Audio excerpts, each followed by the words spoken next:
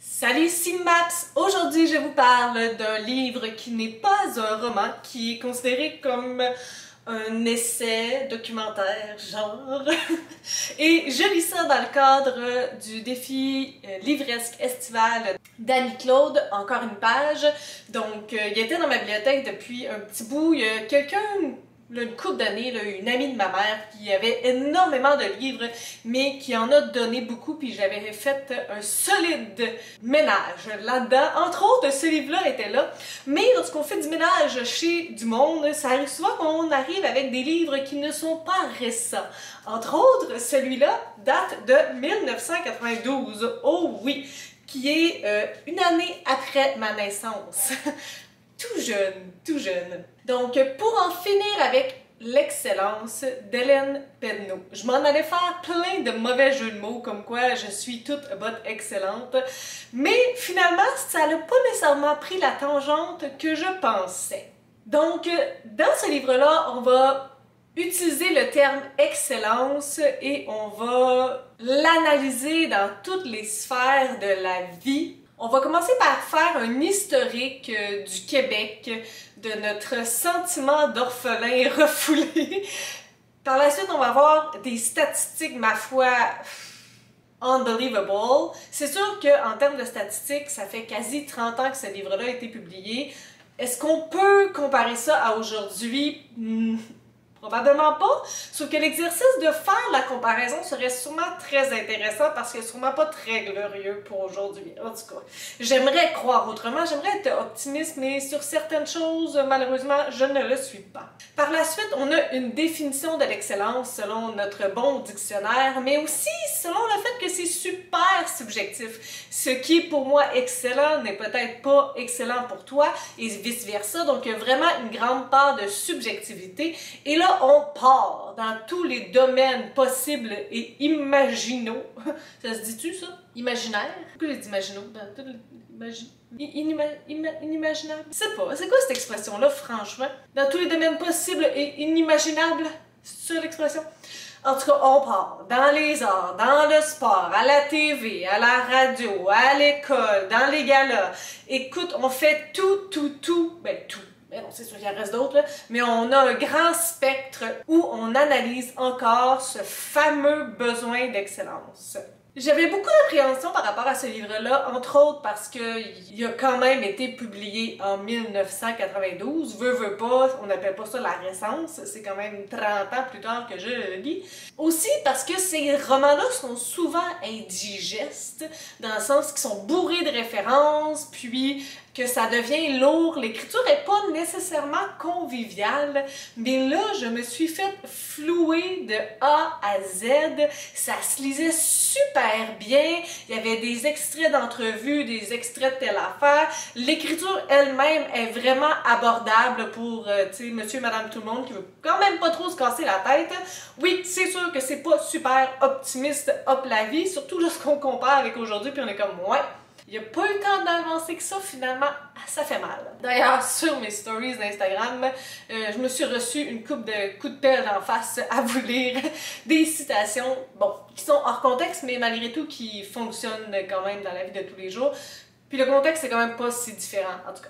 Donc, euh, l'historique est super intéressant de notre cher Québec. Elle parle qu'on a un problème euh, avec notre maternité. On est orphelin, entre autres, avec l'histoire de la Vierge Marie, comme quoi elle est vierge, donc comment elle aurait pu enfanter. Bon, on rentre pas dans le débat de la religion, mais dans le sens qu'au niveau compréhension, on a comme une mère qui est vierge, tu sais, qui, qui a pas pu enfanter de la manière que tout le monde enfante. Donc, c'est tellement bizarre parce que moi je le raconte, mais c'était tellement clair lorsque je l'ai lu. Puis par la il y a l'histoire des filles du roi. Donc les filles du roi étaient des femmes qui n'avaient pas vraiment de famille en France et tout ça. Donc c'est ceux-là qui ont été nos mères. Donc encore là, on n'avait pas de filon d'origine parce qu'on était des enfants de femmes sans famille. Hmm. J'ai beaucoup aimé euh, tous les différents domaines qu'on a parlé de l'excellence puis il y a une belle nuance entre donner le meilleur de soi-même et l'excellence, tout le temps l'excellence. Puis ça m'a profondément touchée aussi lorsqu'on est allé dans le domaine de l'éducation, lorsqu'on veut qu'ils soient excellents à 6 ans, excellents dans leur sport, excellents à l'école, excellents partout, avec un bon comportement. On a parlé aussi d'anxiété de performance qui était quand même, je pense, somme toute, assez peu connu à cette époque-là. En tout cas, moi, euh, on dirait que c'est dans les dernières années, en faisant mes études, que j'ai porté un petit peu plus attention à ça. Les classes euh, enrichies, c'est des enfants qui sont habitués d'être premiers de classe, qui vont tous dans la même classe. Donc, même s'ils sont tous premiers de classe, il y a quand même un meilleur des meilleurs, puis un pire des meilleurs, tu sais. Là, c'est un peu drastique la, la façon que je le dis, mais on est toujours à la recherche de l'excellence. Ça met beaucoup de pression sur les enfants, surtout lorsque ça vient pas tant de eux, ou en tout cas pas entièrement d'eux autres. Est-ce qu'on peut laisser les enfants être des enfants, ou il faut tout le temps qu'ils soient excellents? Ben là, on a cette question de société-là. Il y a aussi toute la question des galas pour remettre des prix parce que c'était donc bien excellent. Il y a beaucoup de subjectivité par rapport à ça. Même à la radio, est-ce que c'est parce que tu l'as entendu 50 fois aujourd'hui que c'est plus excellent? Que l'artiste que tu n'auras jamais entendu de ta vie à la radio parce que il est pas radiophonique, je sais pas trop. Donc vraiment cette euh, définition là de qui donne, appose le terme excellent en fonction de quoi. Il y a aussi l'histoire de Jeux olympiques. Donc, il y a un historique aussi intéressant par rapport à ça, d'une année où que toute cette notion d'excellence a pris beaucoup d'importance. Puis, veut, veut pas le dopage. Si on est rendu à se doper, c'est parce que la pression est tellement intense à être excellent que you need to do what you need to do to be good. Tu sais, ça a comme pas de bon sens. Dans ce livre-là aussi, il y a beaucoup la notion de femme, particulièrement à la fin.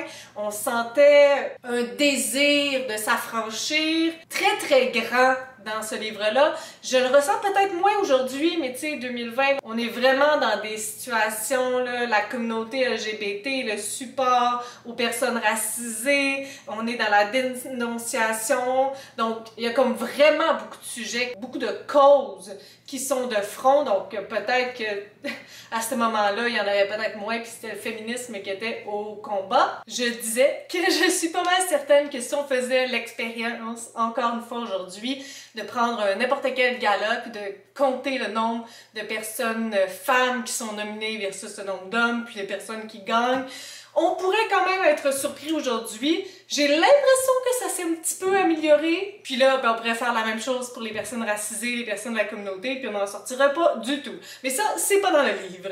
On a aussi un peu cette vision qui ressemble au livre Le Boys Club de Martine Delvaux. Ils ont vraiment quelque chose de similaire parce que malgré tout, tout ça, ça favorise encore l'homme blanc hétéro entre 30 et 40 ans. Euh, cette vision d'excellence parce que lorsque les femmes ont des enfants, c'est pas super excellent. Lorsque les vieillissent, ils sont plus super excellentes. Donc, il y a vraiment cette pression-là aussi autour de différentes personnes. Puis au final, les seules personnes qui restent, qui ont tous les paramètres en leur faveur, c'est ce type d'homme-là. Donc, ça rejoint l'autre ouvrage dont je vous mentionnais préalablement. Sérieusement, vous m'auriez dit que ce livre-là a été publié cette année, puis je vous aurais cru.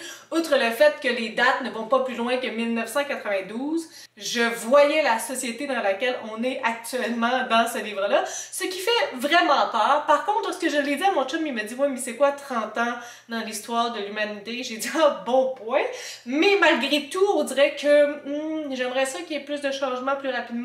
Je vis peut-être dans un monde de licorne. Disons que en ce moment, on est comme dans une ère, dans un mouvement de besoin de changement.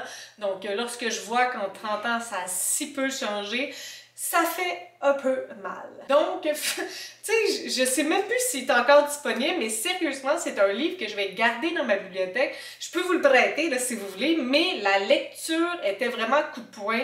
C'est sûr qu'il n'y a pas de solution à la fin de ce roman-là. Elle-même le dit, tu sais, c'est un peu pessimiste. On dirait que dans certains livres, parfois, ça me dérange parce que je trouve ça tout noir, mais dans celui-là, ça m'a pas dérangé. Pourquoi? Parce que même si on avait des solutions, oh, oh, non, ça va être encore plus triste que je vais dire. Je sais pas, il faut que ça vienne du peuple, je crois. Il faut que ça vienne d'un besoin viscéral de changement, d'une majorité qui parle haut et fort pour qu'on arrive à quelque chose.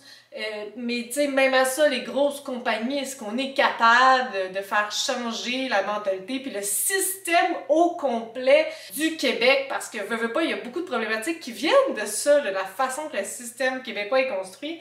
Écoute, j'ai vraiment pas les études nécessaires pour vous parler de ça, ni la connaissance appropriée, mais j'ai l'impression qu'il faudrait un remaniement assez important. Sur ce, si vous avez des suggestions, des critiques, des commentaires, n'hésitez pas à le faire en dessous de ma vidéo. Je publie des vidéos assez fréquemment dans une semaine. Si vous avez aimé cette vidéo, n'hésitez pas à mettre un petit pouce ou à s'inscrire à ma chaîne. Et sur ce, je vous souhaite de bonnes lectures.